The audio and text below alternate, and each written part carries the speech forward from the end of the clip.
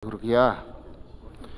За энэ төсвийн хүрээний мэдээлэл төсвийн төсөөлөл бол одоо бид нар хөгжлийн бодлого төлөвлөлтийн хуультай бодлоготой болсон. За энэнийг бол одоо хангахад чиглэсэн энтэйгээ уялдаа холбоотой ийм төсөөлөл байгаа ах гэж бодож байна. Тэгэхээр зөвхөн тодорхой нэг 2 3 асуулт энэ 24 оны төсвийн хүрээний мэдээлэл дээр байгаа мөн 25, 26 онууд дээр энэ төсөөлөл дээр байгаа нэг 2 3 тоон дээр тодорхой асуулт асуумаар байна. Хэрэглээний үнийн үнийн өсөлтийн түвшингээ 8.5 гэдэг ингээ 24 онд тавьчихжээ. Сайн мөнгөний бодлогын одоо орж ирсэн тийм ээ мөнгөний бодлого Монгол банкнаас бол одоо яг хоо 24 онд дан оронтой тоонд оруулна гэд одоо анилдсан байгаа. Тэгтэл өнөөдрийн байдлаар энэ сарын байдлаар бид нар чинь давхар тоонд бол байгаа даа шүү дээ инфляц. Тэгээд энэ инфляц өнөөдөр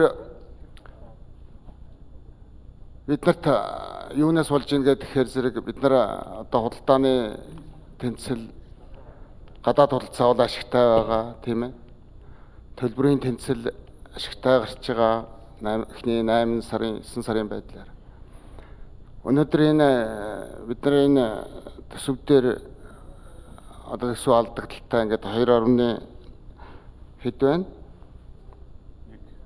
2.1 их 80 төгрөгийн алдагдлаа батлна гэдэг байгаа. Тэгэхээр зэрэг хамгийн гол нь энэ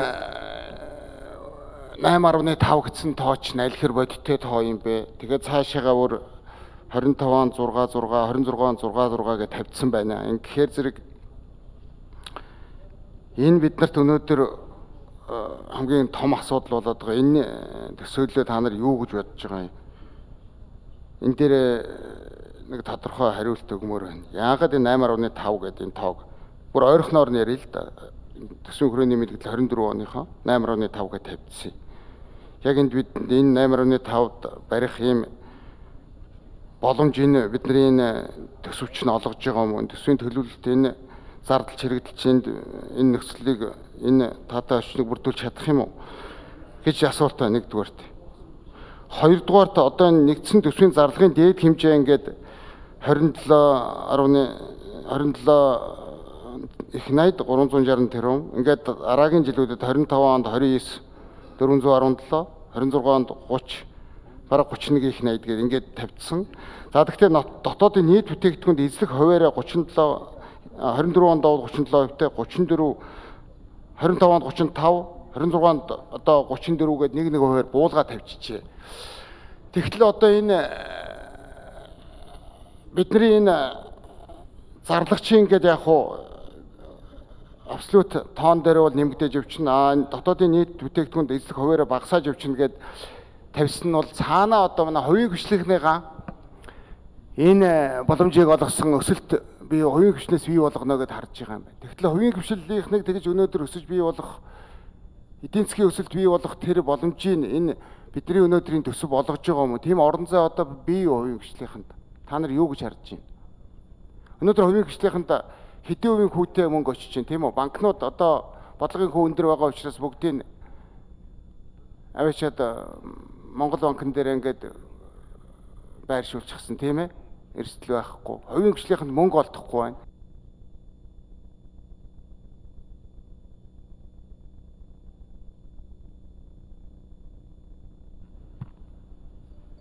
Зуаахаар за эдийн засгийн сайд дэд сайд ган түвний төвдөнд орж харуулна.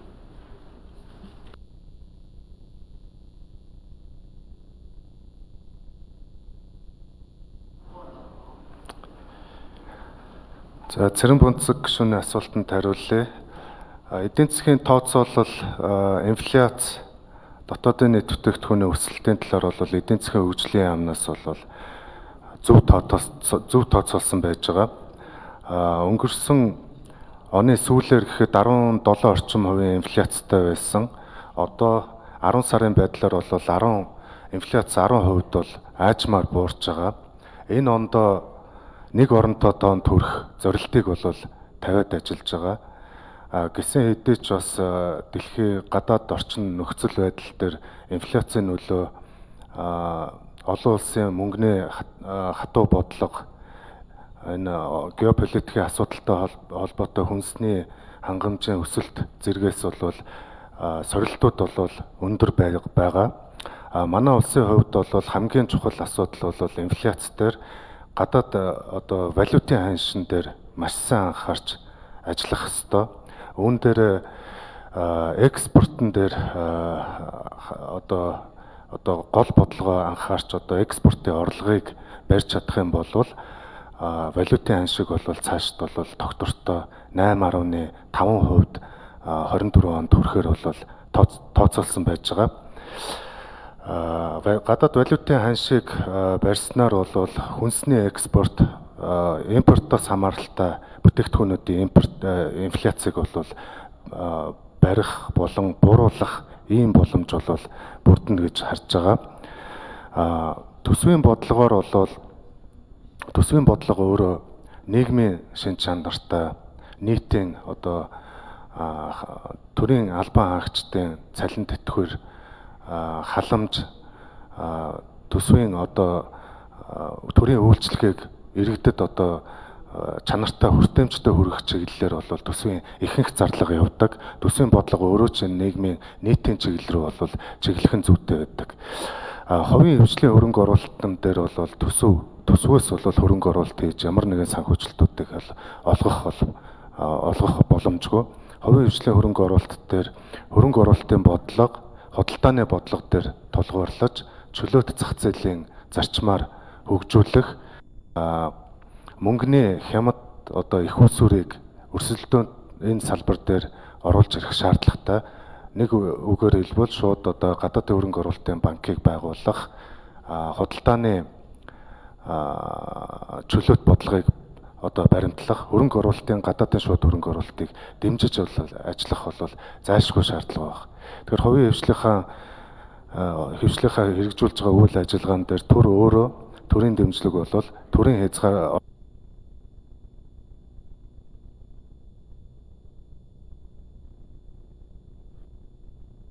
Тэдэн номын тэр мөнцөг шүү тодруулсан. Нэг үнэт.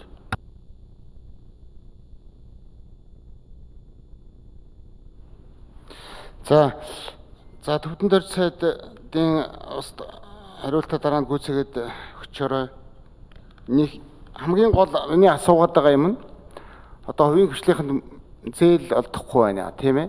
Тэгэхээр зэрэг хувийн хвшлийнхэн хөрөнгө оруулалт хийж чадахгүй байна дараа тэр хойд дараа дараа 25 26 давчлах тэр өсөлтийг чинь хувийн хвшлийнхнаас харахад хэцүү болчиход байна шүү гэж юм. Тэгэхээр цаашдаа ер нь төсөв дээр бид нар хувийн хвшлийнхныгаа одоо авч байгаа зээлийн хүүг энэ төсөв суулгах замаар одоо бид нар энэ дэмжлэг үзүүлэх юм боломжууд та нар бодож үзсэн үү? Энэ дээр бас юу гэж бодож байгаа юм бол.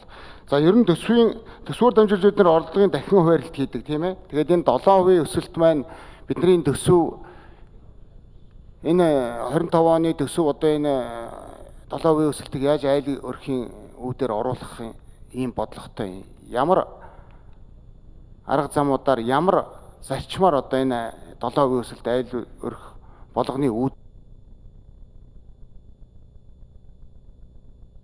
одоох одоох та байж захин хариулах. За төвдөн дөрж эдийн засаг хөгжлийн дэд зэд гантмөр 81 За гишүүний асуултанд нэмж хариулъя. Аа ер нь бол хувийн хвшлийг дэмжих босод уулуурхаан бус салбаруудыг дэмжих бодлого бол хамгаас чухал байж. Ажлах хүчний 90 орчим хувь нь бол үйлчлэгээ, барилга, хөдөө аж ахуйн салбаруудаар бол байдаг. А тэгэхээр энэ салбарууд хөгжихгүй байгаа гол шалтгаан нь бол жижиг дунд үйлдвэрлэл, жижиг дунд бизнесийн юм зах зээл өөрөө байдаг иргэдэд бол уул уурхаан салбарын өсөлт эдийн засгаас орж байгаа өсөлт бол төдийлөн одоо хүрдгүү. А тэгэхээр энэ хүртээмжийг нэмэгдүүлэхийн тулд бусад салбаруудад тэтгэх бол засгийн газраас хэрэгжүүлж байгаа ийм шаардлагууд байж байгаа. Тэгэхээр салбаруудыг татаа засаас чөлөөлж эдийн засгийн одоо чөлөөт либерал бодлогоодыг хэрэгжүүлж а цэвэр одоо эрүүл эдийн засгийн тогтолцоо руу шилжих бол зайлшгүй шаардлага байгаа. Ялангуяа манай хөдөө аж ахуйн салбар бол бид бол уламжлалт хөдөө аж ахуйн эдийн засгтай орон тэгэхээр хөдөө аж ахуйн салбарыг бол цааш төгжүүлж хөгжүүлэх нь бол зайлшгүй бол шаардлага бол байгаад байгаа. А тэгэхээр бидэнд бол маш их боломжууд байж байгаа. Мах, сүү, хөдөө аж ахуйн гаралтай түүхий, дарс шир, ноос, ноолоор бусад дайвар бүтээгдэхүүнүүдийг одоо боловсруулж одоо экспортод гаргах энэ хэрэгцээ шаардлагууд бол байгаа. Тэхийн тулд иргэдийн одоо малчны одоо хотноос ахуулаад бодлогыг бол чиглүүлж одоо тэндээс эхэлж дэмжих бол зайлшгүй шаардлагууд. Бүрэн вакцинжуулах шаардлагатай хадлан тэжээл үүс тэжээлийн бол бэлдэж өгч явах хэвээр эргээд одоо эрчимцэн мал аж ахуйг хөгжүүлэх энэ чиглэл рүү бол засгийн газрын бодлого бол чиглэж байгаа. Мөн эдийн засгийн 7% өсөлтийг яаж одоо иргэдэд одоо хүртэх вэ гэдэг асуудал дээр бол